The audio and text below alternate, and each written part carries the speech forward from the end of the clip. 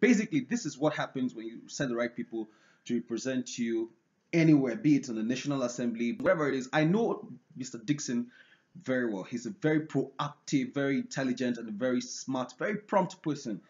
And I was very impressed with this clip. I just thought you should watch it and see how he conversed for the Makurdi Guma people. Here you go.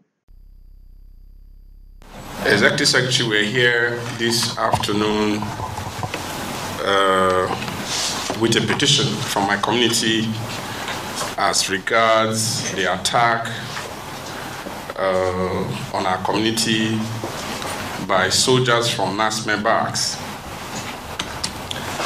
Uh, we demand that uh, your agency, which has been very outstanding in the, on the issue of human rights, investigates, prosecutes, and we're also seeking compensation from the army over the destruction of our property in Makurdi on the 14th of uh, August uh, this year.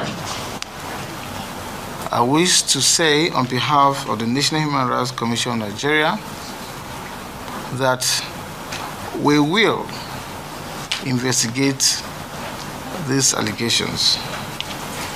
I also want to assure you that the federal government of Nigeria is committed to protect the rights of all Nigerians.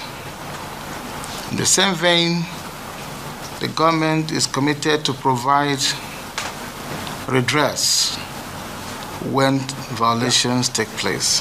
See what I told you?